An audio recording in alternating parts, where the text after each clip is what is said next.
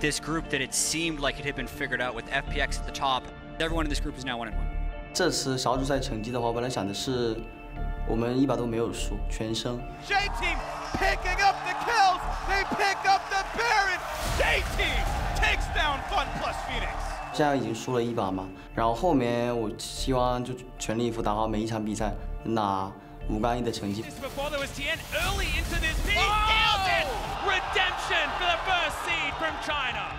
J Team is probably the most important game, and since they won against FPX and we lost, that means they are one game ahead. So it's really important to get a win on every single game. Getting a win against Griffin, it will matter a lot. Me against Chovy is going to be a really spicy matchup because we both like to win lane and we both like to take risks. Yeah, Knight goes down onto Nisqy here, but Nisqy gets the kill. Haven't completed item yet. Here goes Chovy, lands the Vanguard's edge as Cam splashes away. That was beautiful. 我们现在就是真的很渴望先拿到首胜。当我们拿下了一个胜利后，这是希望的开始。 I can see them like getting some good plays in early game. Rest of the team is around the full charge. Scion Q. Just how we've played the entire year makes me believe that it's going to be hard for us to actually lose a game to them. But I can see us like having to fight for it. And one of the tournament favorites takes care of business.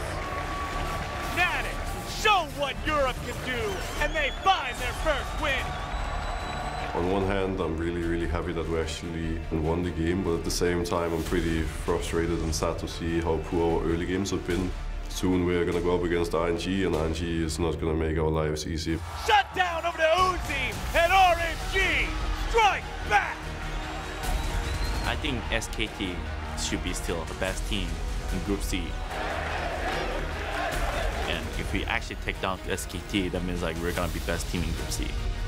We always play better when our backs are against the wall. So now that we're 0-2, you're gonna see us play a lot better. On to Hilly, CC coming through, and that cat is out of there. Time and time again, we just beat teams that are considered better than us.